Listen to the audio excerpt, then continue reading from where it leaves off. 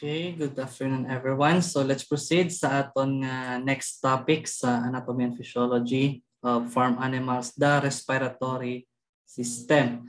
So as previous topics naton sa circulatory circulatory system, di ba? Na mention nga ang lungs is the one that carries the or lungs is the area in which the the deoxygenated blood was converted or was formed into oxygenated or let's say ang oxygen na sa blood cells ginbutang sa red blood cells in exchange of carbon dioxide kung dito sa lungs. So, of course, sa lungs, dito gid mismo ang main source of oxygen. So, ano ang system nga involved dira? That is the respiratory system. So sa sining topic, we will going to discuss the anatomy and the function of the respiratory system of the farm animals. So as you can see sa sining figure as an introductory, so diri the part is start kita mismo sa nose. Actually, hindi lang diri ma-highlight pero of course the nostril or the nose is the two so, ang passageway dara nga mat kung diin gaagi ang air nga papasulod. Actually, hindi malang nose ang main possible sudlan sang air bisan gani ga inhale bisan nga kita nga tawag ga inhale ta through our mouth. So kay kung makita naton sa cross section or sa, sa dissected nga diagram. So there is a nose maagi ni siya sa pharynx, di ba? Oh, kita nyo, nose, the concha nasal cavity, madiretso sa, sa pharynx.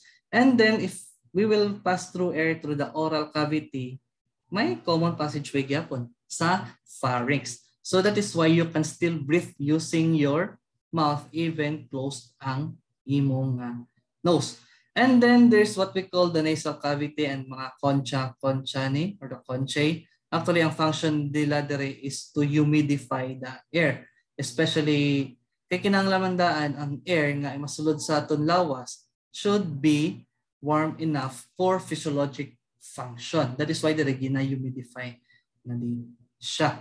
So once maagi siya sa nose or sa oral cavity through the pharynx, madiretso na siya sa trachea, uh, pharynx, trachea, and then take note ha, trachea is located ventral to the esophagus.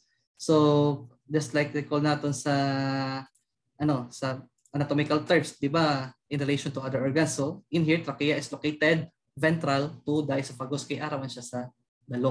Okay? So, masubay ta from nose to the trachea to the bronchi, bronchioles, and to the lungs.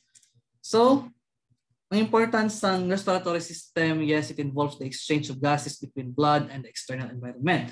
Also, animals may survive some days without food, but only for minutes without oxygen. That's how vital oxygen is. And that's how vital the respiratory system of an animal is. Okay, the respiratory organs or the apparatus, so just like I mentioned, the nostril or the nares, the external opening, and then the nasal cavity, open externally at the nostrils, and communicates with pharynx to posterior nares. So divided into left, right and left by cartilaginous nasal septum. And the pharynx, it is the common passage of air and food. That is why I said kanina, you can still breathe using your mouth. The larynx or the voice box consists of five cartilages. The cricoid, the arytenoid, take note two. So meaning there are two arytenoid cartilages, thyroid, and the epiglottis. And then after sa larynx, trachea ang masunod or the windpipe. So correction na kagina, after sa pharynx, may larynx pa tang mga agian or the voice box, and then trachea or the windpipe. So connects larynx to the lungs and divides into bronchi which form into smaller branches pa which is called bronchioles. And then lungs is the cone-shaped structure base resting against the cranial side of the diaphragm. So this is the main organ of respiration and it is divided into lobes, the apical, cardiac, diaphragmatic, and intermediate. So apical sa cranial part, cardiac on the middle, especially atong lapit sa heart, diaphragmatic diaphragmatic or the caudal, kasi syempre dapit sila sa diaphragm, and the intermediate lobe or the right lung. Kung magmangkot ka mo, sino si diaphragm? Actually, diaphragm is the muscle that is responsible for breathing in and breathing out. So somewhat siyang provide negative pressure nga kung mag-act na para pala mag-breath ng animal. So imagine if buslot ang diaphragm, there will be no negative pressure. So that is why budlay maginhawa ang animal nga tuslokon ang diaphragm. So amo na siyang careful nato especially during surgery kung open ka sa abdomen, gina-make sure gid na nga hindi ma-pinch or ma-puncture si diaphragm kay budlay gina ma ano ang negative pressure. Okay, so this is the typical or the comparative anatomy of the lungs. So as you can see, sa horse, left, right, intermediate lobe, you can see, there is no subdivision like do typical do two lobes lagi na makita naton. Whereas sa sheep, it is subdivided pa ring apical, apical, apical, cardiac, intermediate, and then the diaphragmatic. And then pag abot sa ox, oh, sorry, Okay, lain pagid ang ano. So, actually, so can see different animals have different or or structure of the lungs. So, amo na siya ang pag-study sa comparative anatomy. Although they are all lungs, pero lain sa structure. Especially, essential na siya kung mag-identify bala during mga cases nga pakita lang sa imong organs. Tapos without identifying the or without representing any other organs. For example, baga lang ihatag sa imo. Identify, kasi ni baga? So, at least maka-identify ka kung iya naka-animal or kung hindi maka-animal, kay sino na siya. So, amo na siya ang application sa comparative anatomy. Okay, just like I said, na, the, the trachea is divided into principal bronchi and then there is uh, cartilage and take note the trachea is regulated by the trachealis muscle. So, just like I said, na, not, hindi lang GI ang may muscle and the skeletal muscle. So pati ang trachea may trachealis muscles. Take note of that. And then this is the mucosa or the mucous membrane.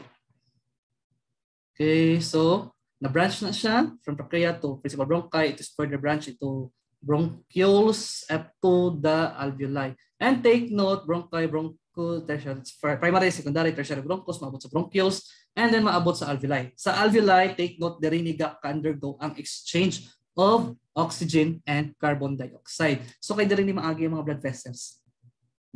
Diri ni maagi mga blood vessels tapos ang mga carbon dioxide alin sa red blood cells ginakaya sa red blood cells ma-transfer sa lungs tapos ang oxygen dida mabalik makadto sa red blood cells. Amo na siyang nakatabo na exchange of gases or the exchange of gases takes place in the alveoli. That's it? Okay. Regulation of respiration involves both external and internal respiration. So external respiration, the thin membranes of the alveolar wall and capillaries facilitate the movement of oxygen into the blood and movement of carbon dioxide into the alveolar air. So and then external uh, internal respiration. So familiar man mo siguro nga sa biology there is a respiration inside the cells. Amo ni siya ang internal inspe ah respiration. So, ano siya. Pero ang kakatabo sa lungs, that is external respiration. And the process involves the following inspiration, inhale, expiration, exhale. So, amo na siya ang mnemonics. Inspiration, I, inhale, expiration, E, exhale. Okay. Forms of respiration, there is terminologies involved. The apnea, no respiration. Eupnea, normal quiet respiration. Dyspnea, difficulty in respiration. Hyperpnea, increased depth or rate of breathing or both. Polypnea, rapid shallow breathing. Coastal or thoracic breathing, considerable movement of waves. And abdominal or diaphragmatic breathing. That is why nga mabantay ko mga actually may ara nga coastal thoracic breathing and abdominal breathing normal lang sa mga animals or specific animal species ara ba lang isa mas anad sila sa diaphragmatic or abdominal breathing kaysa sa thoracic breathing. Bisan gani sa mga singers kay daw gina-train sila kung in what part mag coastal breathing, in what part mag abdominal breathing, especially para makabirit. So, pwede mo na siya mahimo. Bisan ikaw ganing nga tawo, you can do coastal or thoracic breathing. Amo na siya, and then abdominal breathing, ito dala na ginang imo nga yan. So, amo na ang forms of respiration. Okay, so that's it for the respiratory system. So, take note, the main function of respiratory system is to deliver oxygen from the environment to the system. And in exchange, i-exhale si carbon dioxide. Okay, that's it. Thank you for watching. Hopefully, damo mo na-learn. And for future videos, just wait lang. Subscribe na sa akong channel and Ah, sorry, sorry. And God bless.